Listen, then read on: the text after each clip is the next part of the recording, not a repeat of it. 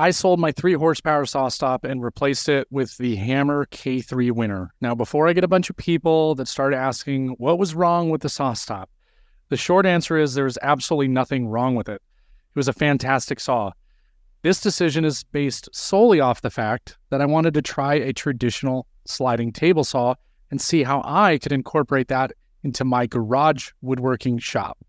And the purpose of this video is to demonstrate the delivery, the uncrating, and the basic assembly of the K3 Winner. This video will not show how to calibrate and dial in the saw, as that's going to be saved for a future video. So let's get into the delivery. This was definitely the largest pallet that I've ever received in my home. And honestly, I kind of think I lucked out on this one. And had this been much larger, I'm not sure that I would have been able to fit this pallet through the door. As you can see in the footage of the delivery, I had to shift some wood around just to get it through the opening. But what I will say is that if you're going to be bringing this in through a two car garage door, then you're not going to have any issues at all. So, after a little bit of finagling between myself and the wonderful delivery driver that I had, we were able to get the pallet in the desired location. And it was time to go ahead and start breaking everything down. And a word of advice here if you plan to remove the saw using a pallet jack, then make sure that you leave at least the length of the pallet free to whatever side you're going to be downloading it from. This will give you enough space to build a ramp to remove it. Now, like every tool that I have received from Felder over the past few years, they're always packaged extremely well, and this crate is very, very rigid. I like to remove all the screws first to help with the breakdown process. Now, the frame is also nailed so removing the screws will actually not make it collapse. As I break it down, I just place the 2x4s off to the side because I will actually be using some of this for the ramp. Once I get all the framing removed, I'm then able to move on to getting the plastic wrap off the saw around the actual table saw and the additional parts and accessories. Now, I first removed all the loose items found within the box and moved them over to my assembly table so they would all be easily visible during assembly. There will be multiple items needed for assembly attached to the pallet, and they attach these with screws so they don't move around during transport.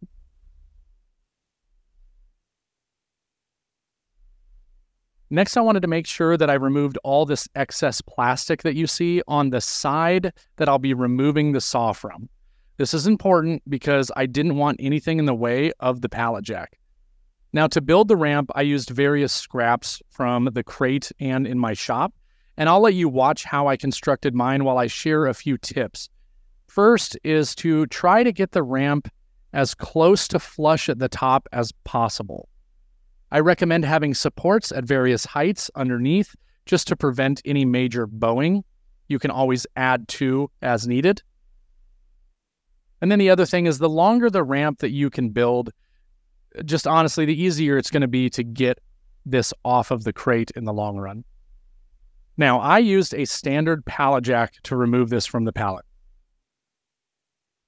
The way I look at it, there are two ways that I can share to remove the saw. The first way is a bolt can actually be added to the existing hole for the mobile base.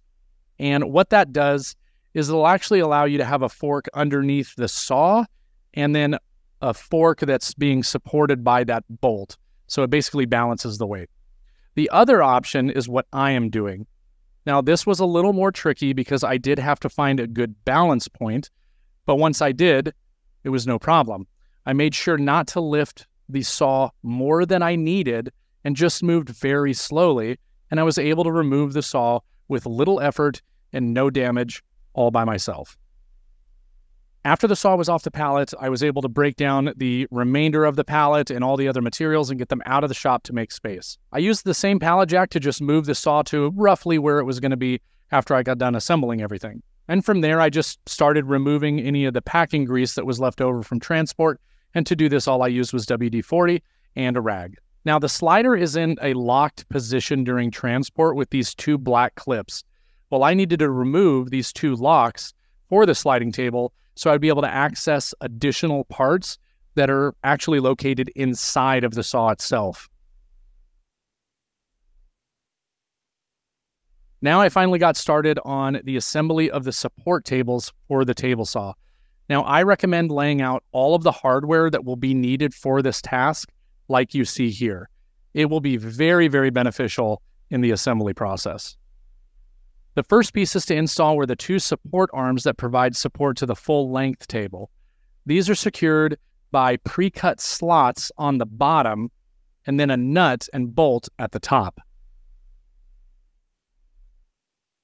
From there, I was able to add the support arm extension that will support the smaller support table. From there, I began installing the posts that the support table will actually rest on. For this, I left about three inches total above the supports. This just helps speed up the adjustments that will be needed later to level everything. Once the height was correct, I then added a washer and a nut to the bottom. I am not tightening any of this hardware down all the way at this point. And there are a total of six of these posts, and it will look like this. I also added the provided felt pads to the top of each one of these posts. Now, these are provided to prevent any kind of damage that could be caused from metal on metal contact between the post and the support table. I then added the bolts that will be used to adjust the level of the support tables. So I set the washers on these to be roughly one inch above the supports. And again, that's just to make the leveling process a little bit faster. As with the support posts, there are a total of six of these adjustable posts, as you can see on the saw here. The first table to be attached is the larger full length support table. If the posts are set to the rough height that I outlined before, then the table should end up being pretty close to where you need it. You just have to make sure that the bolts are lined up with the holes and that everything is laying flat. Now, this is where I started the leveling of the table. That is what the black bolts are for. I just worked my way through each of the bolts while periodically checking to make sure that everything was flat and coplanar. I just used a standard straight edge in various locations, and as I was happy with the results, I would tighten the bolts down to lock everything in place. Next, I added the second support table, and I followed the exact same steps that I just showed. However, there is one difference, and that is that the smaller table doesn't only attach to the support rails, but it also attaches to the other support table.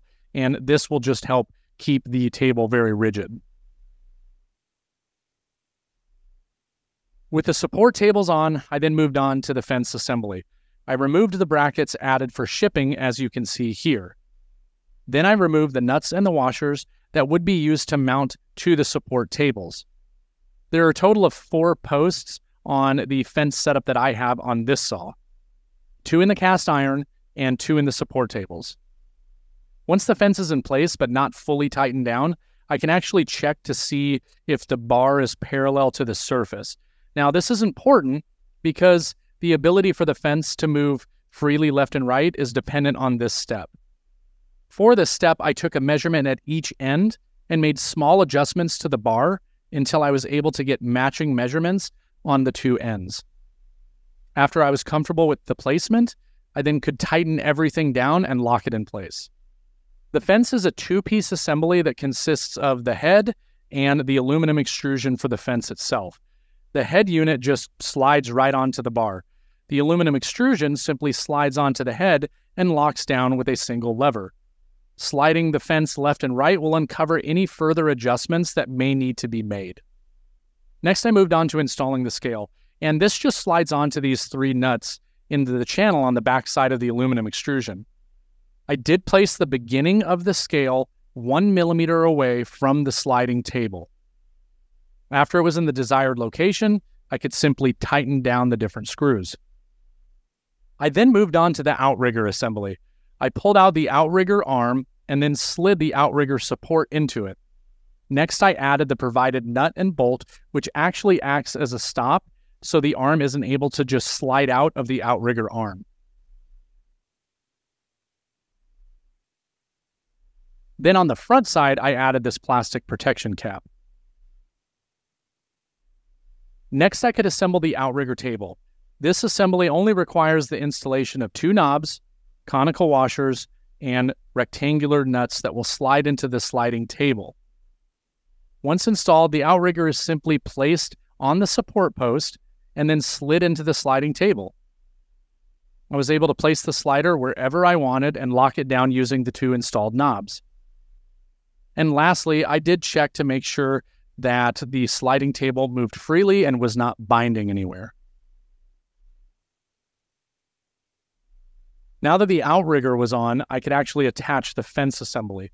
This assembly consists of three parts a, an aluminum extrusion and two mounting brackets. The brackets slide in on the back side of the extrusion.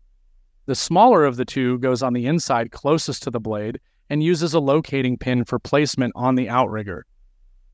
The larger bracket slides into the outrigger table scale and will also use an indexing pin for various angles. Once in place, I can raise this small stop, which is actually used for quick 90 degree reference.